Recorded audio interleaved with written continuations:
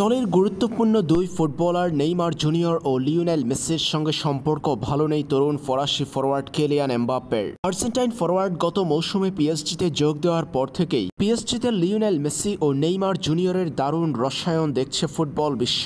বিষয়টিকে সহজ করে নেননি ফরাসি ফরোয়ার্ড কেলিয়ান এমবাপ্পে। মাঠে বিভিন্ন সময় নেইমার জুনিয়র ও লিওনেল মেসির সঙ্গে বিরোধে জড়িয়ে যেতে দেখা গেছে ফরাসি এই তারকাকে।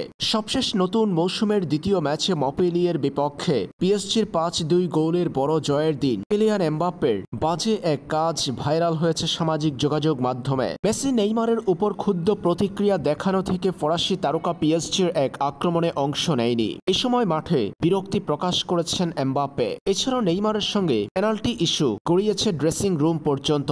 এত সব কিছুর মাঝে এবার ফরাসি সংবাদ মাধ্যম লেকিব দিয়েছে চাঞ্চল্যকর খবর। পিএসজিতে চুক্তি নবায়নের সময় কেলিয়ান এমবাপ্পেকে বিশেষ ক্ষমতা দিয়েছে পিএসজি। আর সেই ক্ষমতার কারণে মেসি নেইমারদের উপর কর্তৃত্ব খাটাতে চাচ্ছেন ফরাসি তরুণ। লিওনেল মেসির মতো সিনিয়র ফুটবলার আর নেইমারের মতো দলের সবচেয়ে গুরুত্বপূর্ণ তারকার সঙ্গে কেলিয়ান এমবাপ্পের এমন আচরণ ভালোভাবে নেননি ফরাসি দলটির president Nasser Al Khelaifi L'Equipe এক প্রতিবেদনে জানিয়েছে, এমবাপ্পের উপর বিরক্ত পিএসজি প্রেসিডেন্ট। ফরাসি ফরওয়ার্ডের সঙ্গে একান্ত আলোচনায় বসবে পিএসজির টিম ডিরেক্টর, কোচ এবং প্রেসিডেন্ট। এমনটাই জানানো হয়েছে সেই প্রতিবেদনে। তবে এমবাপ্পের থেকে মুখ ফিরিয়ে নিচ্ছে না পিএসজি। বরং দলের সেরা তিন ফরওয়ার্ডকে একসঙ্গে খেলানোর পরিকল্পনায় হাঁটছে দলটি। সেই লক্ষ্যে তিনজনের মধ্যে সম্পর্কের উন্নতির জন্য কাজ শুরু করবে পিএসজির টিম ডিরেক্টর।